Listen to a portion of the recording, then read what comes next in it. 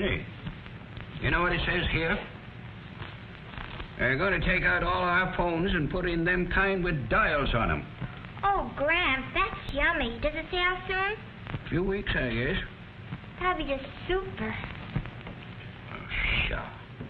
What'd you say, Gramps? I said, oh, pshaw. As soon as a man gets used to one thing, by golly, somebody wants to take it away from him. But, Gramps, we've had that old phone since, well, I bet since Daddy was a boy. We ought to be glad to have modern telephones. Oh, shucks. You young'uns are never satisfied these days.